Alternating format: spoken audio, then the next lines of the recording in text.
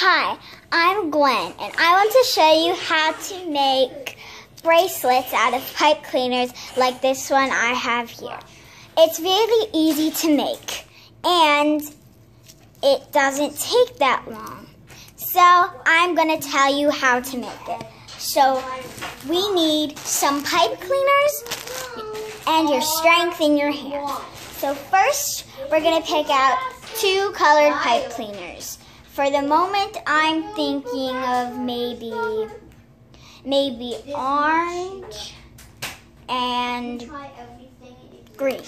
But really, if you're following along, you can use any two colors you want.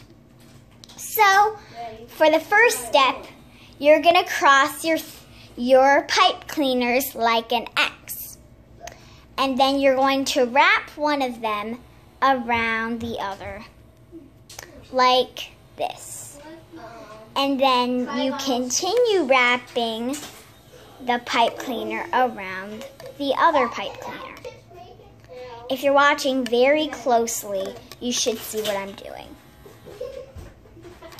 Okay, Jocelyn. Let's try another vial. It might take a while for you the first time though, but that's okay because I've been doing this for a while. I've made one for my sister, for my brother, and for my dad. So see, I'm all finished wrapping up the bracelet. So then you get someone's wrist or your wrist and you put your hand through and measure it so it fits over your hand. Then you wrap the extra around the bracelet like this.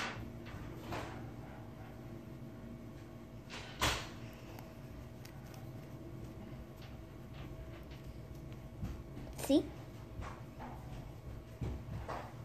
Okay, got a couple water. And then I'm going then you need tape to cover up the edge of the corners. Let me go get it real quick.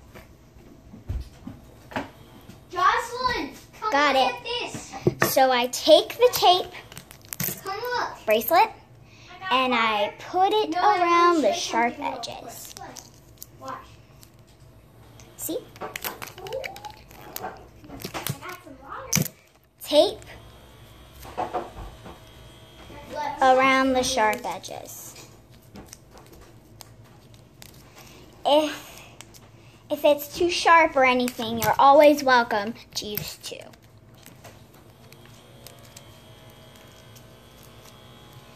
And then voila, your bracelet is complete.